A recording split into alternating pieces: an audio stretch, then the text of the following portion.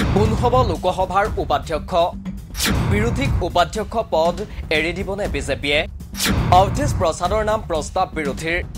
অযোধ্যা জয়ৰ উপহাৰ পাব নেকি অৱধেশ প্ৰসাদে? অষ্টাদশ লোকসভাৰ অধ্যক্ষৰ পদত বিজেপিৰ ওম বিৰলা বহাৰ পাছত এতিয়া উপাধ্যক্ষ কোন হ'ব তাক লৈ চৰ্চা চলিছে। শাসকীয় এন ডি এ উপাধ্যক্ষ পদৰ বাবে কাৰো নাম প্ৰস্তাৱ নকৰোতেই বিৰোধী মিত্ৰজোঁট ইণ্ডিয়াই প্ৰস্তাৱ কৰিছে এটা নাম। ইণ্ডিয়াই প্ৰস্তাৱ কৰা নামটো হ'ল অৱধেশ প্ৰসাদ। উত্তৰ প্ৰদেশৰ ফৈজাবাদ সমষ্টিৰ সমাজবাদী পাৰ্টীৰ সাংসদ অৱধেশ প্ৰসাদৰ নাম প্ৰথমে প্ৰস্তাৱ কৰে তৃণমূল কংগ্ৰেছৰ মুৰব্বী তথা পশ্চিমবংগৰ মুখ্যমন্ত্ৰী মমতা বেনাৰ্জীয়ে।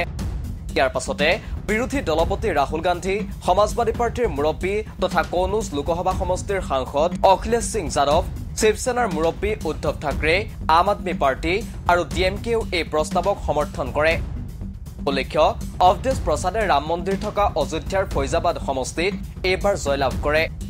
সমাজবাদী পাৰ্টীৰ জ্যেষ্ঠ নেতাগৰাকীয়ে বিজেপিৰ লাল্লু সিঙক পৰাস্ত কৰে। লাল্লু সিং দুহেজাৰ চৈধ্য আৰু দুহেজাৰ ঊনৈশ চনৰ লোকসভা নিৰ্বাচনত সমষ্টিটোৰ পৰা জয়ী হৈছিল। ফৈজাবাদ সমষ্টিটোত পৰাজয়ে বিজেপিক লজ্জানত কৰি তুলিছে। এতিয়া এই ফৈজাবাদ সমষ্টিৰ পৰা জয়ী হোৱা অৱধেশ প্ৰসাদকে বিৰোধীয়ে লোকসভাৰ উপাধ্যক্ষ পদৰ বাবে নাম প্ৰস্তাৱ কৰিছে।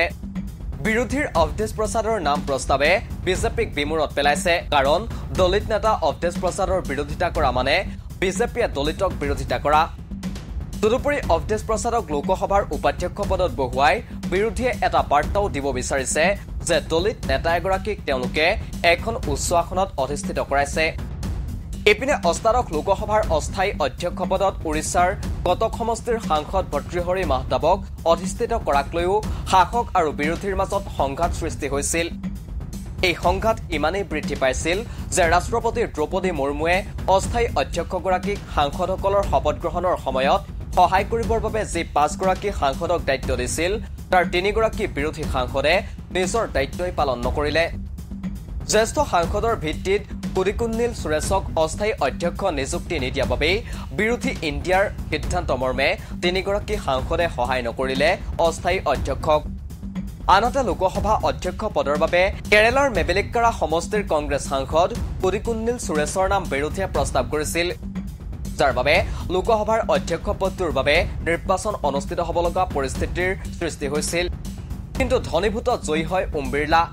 এতিয়া বিৰোধীয়ে উপাধ্যক্ষ পদৰ বাবে একেই পদ্ধতি গ্ৰহণ কৰিছে।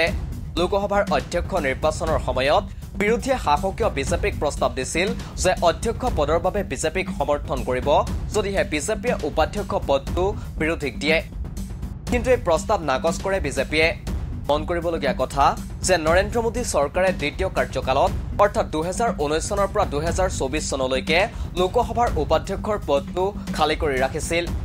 কিন্তু এইবাৰ বিৰোধী সাংসদৰ সংখ্যাও বৃদ্ধি পায়। তেনেস্থলত লোকসভাৰ উপাধ্যক্ষ পদটো খালী কৰি ৰাখিব নোৱাৰে। স্বাভাৱিকতে এতিয়া লোকসভাৰ উপাধ্যক্ষৰ আসনত কোন বহে সেয়াহে হ'ব গুৰুত্বপূৰ্ণ। কিন্তু বিৰোধীয়ে এগৰাকী দলিত নেতাৰ নাম এই পদৰ বাবে প্ৰস্তাৱ কৰি খেলিছে এটা master stroke news desk report দি ক্ৰছ কাৰেণ্ট।